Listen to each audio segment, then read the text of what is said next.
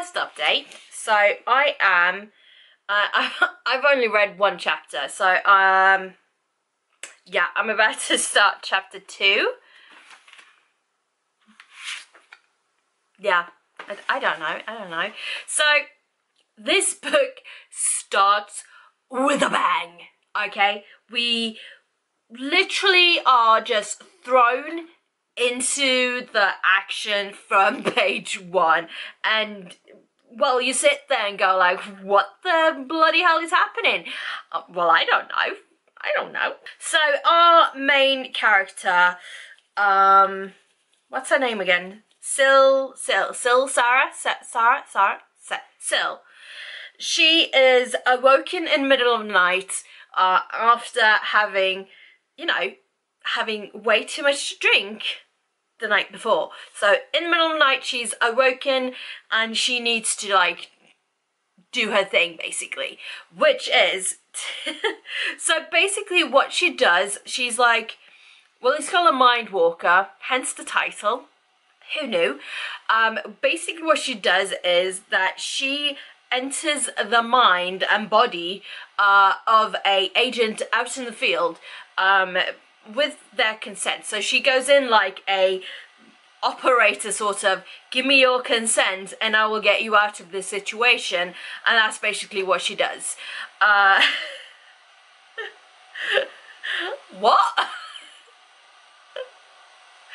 I'm intrigued. Um, I, I want to know more. I mean, it's 12 pages, one chapter. Um, I, yeah, I don't know a lot yet, so I'll check back. I'll check back. I swear I moved. I swear I moved. Um, I read some more.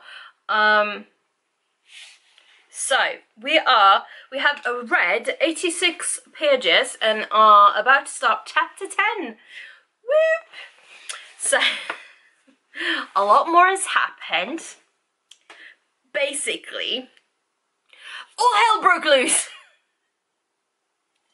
all hell broke loose and uh, still um, she basically found out that she was going to get decommissioned which is basically when they um, so they, they these mind walkers they have like a computer-ish thing in their brain and um and they use it to you know help agents out on the field and stuff. Uh, so being decommissioned is basically well, I'm not too sure yet because it hasn't been like properly can explained explained. Um but it's basically so these um computer things they have a limited time shelf time uh, and they will start to wither and die away. So she's yeah um but uh, towards the end of the sh shelf life um they get like the uh the, the, the decommissioner part sort of like gives you a bit more time to go say goodbye to your friends and family basically. I don't know. Basically uh, in this case she will get locked up um, because she's been blamed for something she did not do. Whew. so um, she finds out beforehand and she basically escapes. So now she's out in the world that she doesn't really know because she's been sort of confined to this building, I guess.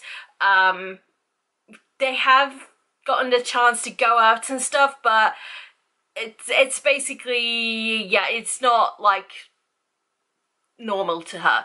Um, so now she's out and about um, and she's basically, uh, she needs to find out the truth, that she needs to like, she basically needs to find out the truth, find evidence that she didn't do this thing she's being blamed for, um, before she's caught, because of course they are looking for her.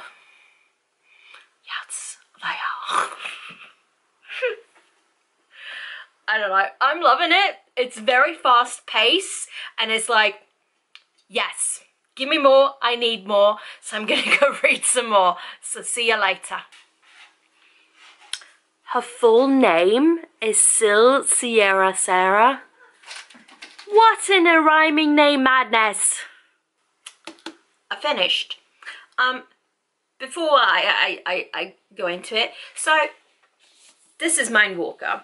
And you know how, like, in the end, like the last couple of pages of a book, you sometimes get like the next book's, you know, preview, sneaky preview chapter, or whatever. Why? What? Why am I getting the first chapter of the same book I've just read? Whoever did this book, you made a boo boo. You made a big boo boo. Um. So Which side? I don't know. Um, this book, honestly, it's a thrill ride. Yeah, the thrill ride of a lifetime says Kat Dunn. I don't know who Kat Dunn is, but you're not wrong.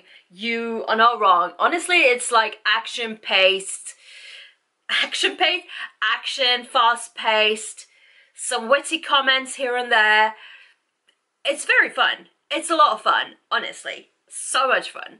Uh, I definitely recommend reading this book if you just wanna, you know, quick read and just a good time because it's it's a good time. So it's it's set in some weird ass futuristic gamer world where every now and again there will be like a acid rainstorm thing, pollution. I'm not even sure, but basically the the little snippets I got of the world because there's not a lot of like huge world building. Basically, we're just in a city and kind of in a part of a city. That's what I, that's the vibes I'm getting. Anyway, we don't get a whole big picture but what I'm getting is that the world is pretty uninhabitable and yeah. Well, most of the time. Sometimes. I don't know. Most of the world seems very uninhabitable. Um, and to survive, they've like generated, no, invented this technology. So there's basically the gamer part of the world is like they all of them have like different modifications put in. You can be like eyesight or you, most of them have like i think it's like in the arm it's like a little basically like a phone. It's like a little dashboard where you can like text and whatnot. Because most of the people don't have like like Sil has. She's one of the walkers so she has like a computer in her brain um, yeah. But it's it's so cool. Honestly, it's so cool. What I do wonder, however, because this could very easily be a standalone, because the ending is very much like, well, I, I almost said like, and so they lived happily ever after. Not really. um, yes and no, I guess. But the, the, the ending of this book is very much an ending. So I'm curious because there is a book two. I don't know if it's going to be more or if it's just a duology. We'll, we'll see, I suppose, because I think book two just came out like in September, something. I don't know. Yeah, I'm curious to see what book two has to say because this could very easily be just a standalone. So I guess we'll see. I guess we'll see. Uh, either way, yeah, if you want a good time, pick up a book. Um, pick up a book, pick up this book. Well, update for book two. Um, Mindbreaker.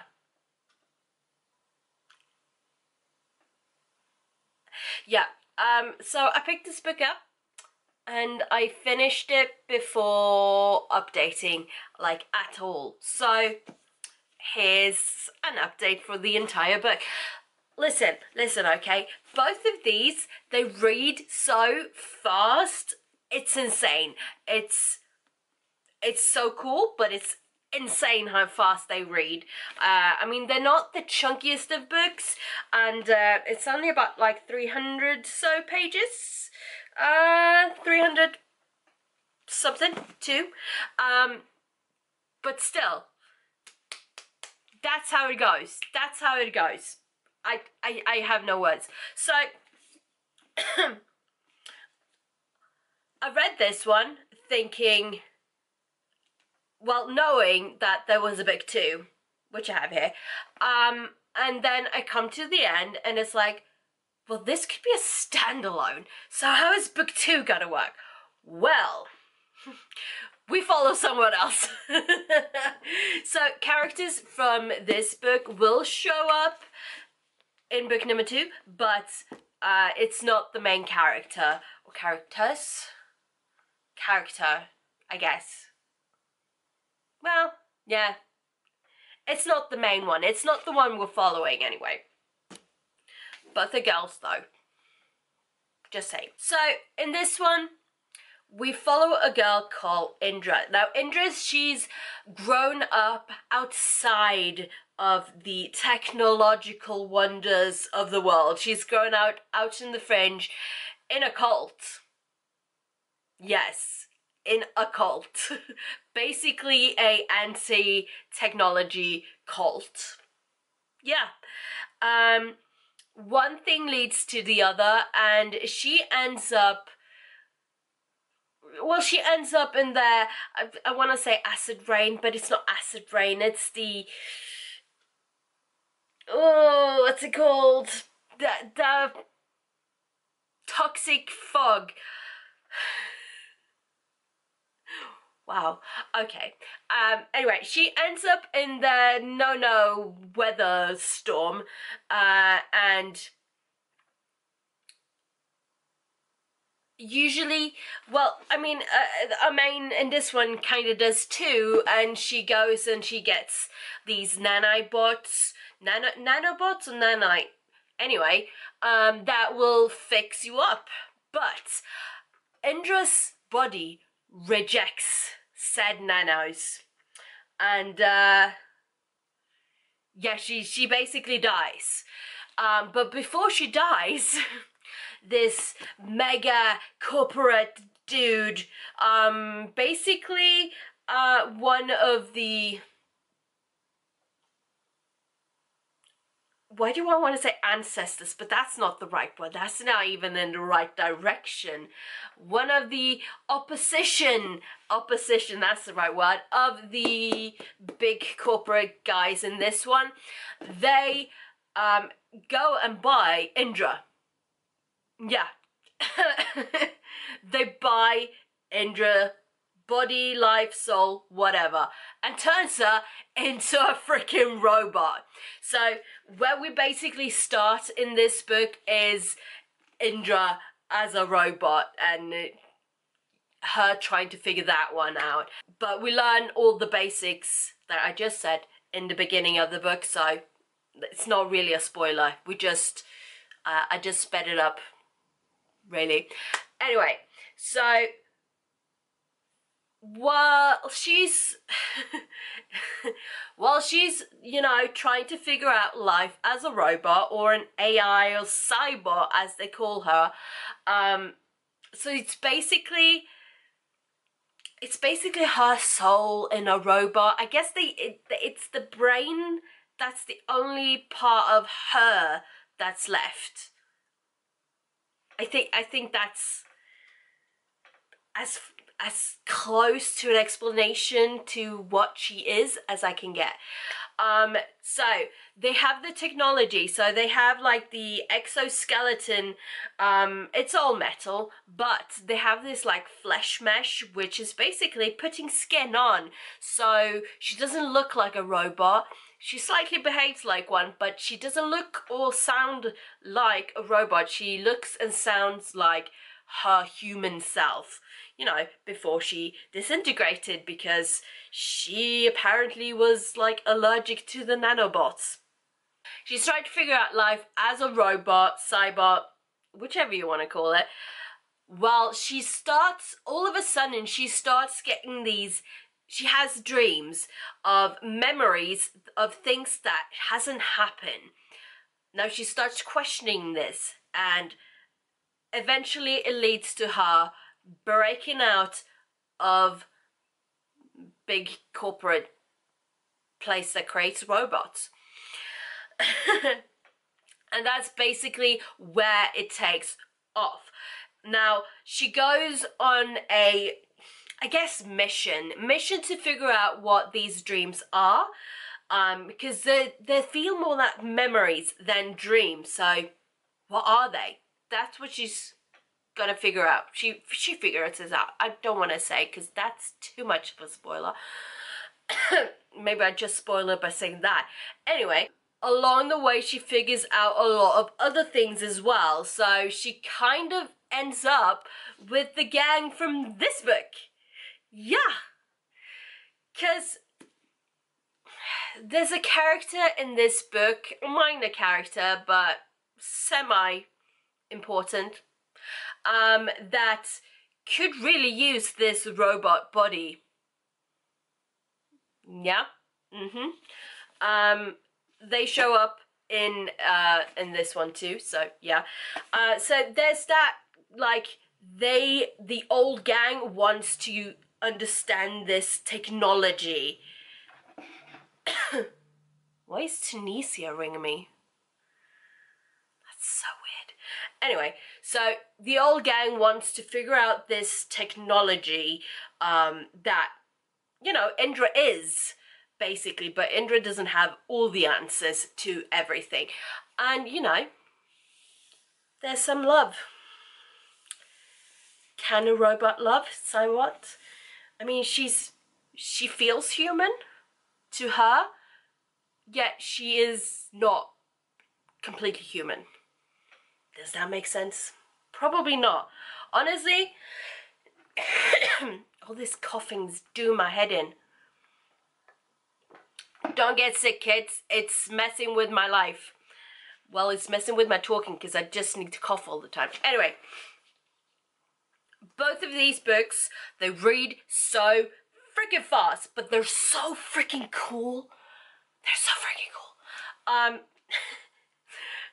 it's this amazing, like, gamer, futuristic gamer cyber world with weird stuff going on and, you know, kind of starvation as well because uh, not everyone is rich and can afford, you know, everything. but they all seem to get it in one way or the other. Anyway, highly recommend for a futuristic gamer adventure where you try to figure out the truth. The truth is out there and it may be in these books. Honestly, I mean, they both are like standalones in the same series. I would read this before reading this because you get to know some characters. now, here's a question though. So, will Kate Dylan write more books in this world, which I will kind of assume would be more standalone-ish books in the same series. What is that called? That has a word and I'm blanking on it. Yeah, that's not weird at all. I tend to blank on words a lot. This is why I make up stuff. I make up words every now and again. You know. Anyway, it would be cool to see more of this world, but also I kind of want to see what else Kate Dylan has up her sleeve, as it were. Also, while we're here, I mean, it was in the YALC haul, but can we appreciate some like signage and stamp stampage because it's it's pretty and it's fun woo bloody love this book books books Bloody love these books. Kate Dylan, please write some more in this world or, you know, other things because that would be fun. But also I kind of want to see more characters from this world. I'm, I'm hooked. I'm hooked. Sue me. Don't sue me. That would be terrible for me. anyway, um, thank you so much for watching. Um, if you've read these books, do let me know. What are your thoughts? Comment down below. There's a whole section. Use it. uh, or, you know, does this seem like an intriguing world to you? I don't know. I don't remember how much spoilers it's been in this vlog. We'll see when I edit. And you'll probably see before I remember to remember. yeah, I'm sick, okay? I'm very poorly. My brain is all over the place and I'm about to start coughing again. So, I'll see you when I see you, which will be soon, because that's just how it goes. And until next time, take care, bye-bye.